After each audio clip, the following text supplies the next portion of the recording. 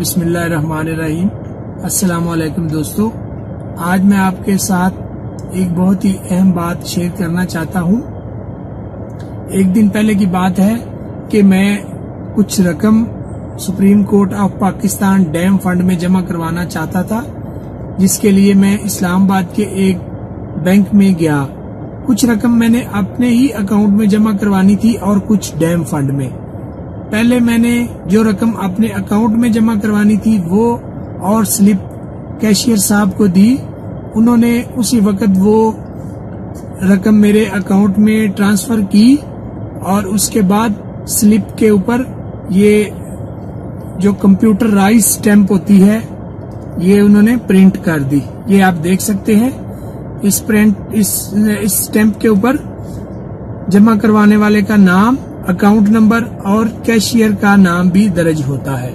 ये stamp system तब ही लगाता है जब पैसे सिस्टम में चले जाते हैं अकाउंट अप, अपडेट हो जाता है तब ये सिस्टम इसके ऊपर ये प्रिंट कर देता है स्लिप के ऊपर। ये आप देख सकते हैं।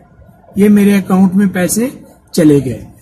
उसके बाद मैंने दूसरी स्लिप और वो रकम जो मैंने डैम फंड में जमा करवानी थी वो मैंने कैशियर साहब को दी। उन्होंने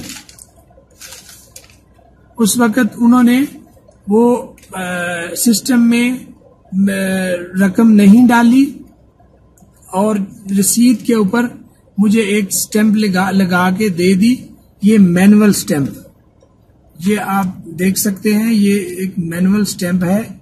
ये उन्होंने इस रसीद के ऊपर लगा दी और सिस्टम में एंट्री नहीं की।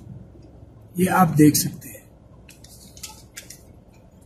तो मैंने उनसे कहा कि आपने ये मैनुअल स्टैंप क्यों लगाई है? उन्होंने कहा कि बस कोई मसला नहीं, ये भी सही है, पैसे एंटर हो जाएँगे।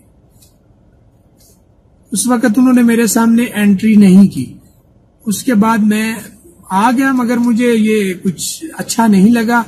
मैंने उसी वक्त इस बैंक की हेल्पलाइन पे जो कि हेड ऑफ़िस से होती है, वहाँ पे कॉल की और मैंने ये अपना कंसर्न उन्हें बताया कि मैंने एक ही वक्त में दो अकाउंट में पैसे जमा करवाए हैं। एक में उसी वक्त उन्होंने एंटर कर दिए हैं और मुझे वो कंप्यूटराइज जो अपडेट वो प्रिंट होती है, वो उन्होंने करके दी है स्लिप के ऊपर और दूसरे पे मैनुअल उन्होंने जो डैम फंड वाला था, उसके ऊपर उन्होंने मैनुअल स्टैंप लगा दी है और एंट्री भी नहीं डाली।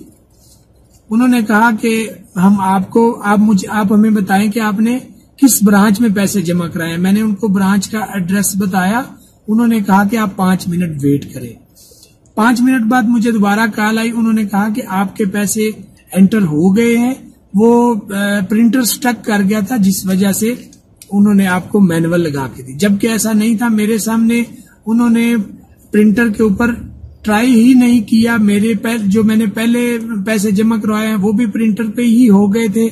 और जो ये डैम के बाद एक बंदा, डैम वाली स्लिप के बाद एक बंदा बिल जमा करवा रहा था, उसका भी उसी प्रिंटर से ही उन्होंने प्रिंट किया था स्लिप को।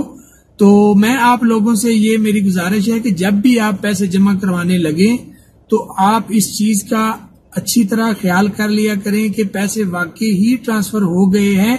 क्योंकि ये जो मैंने आपको ये जो स्टैंप दिखाई है मैनुअल स्टैंप इस पे बाद में अगर वो चाहें तो पैसे जमा हो सकते हैं। वो कर सकते हैं, मगर अगर वो बाद में नहीं करते और वो रसीद जो एक इस तरह की उनके पास है, वो जाया कर देते हैं तो वो बड़े आराम से पैसे उनकी उनकी जेब में चले जाएँगे। लिहाजा मेरी ये आपसे दरख्वास्त है सब लोगों के से कि जब भी आप किसी भी बैंक में पैसे जमा करवाएँ तो इस इस चीज़ की तसल्ली कर लीजिएगा कि पैसे वाकई ही ट्रांसफ़र हो गए हैं। Thank you very much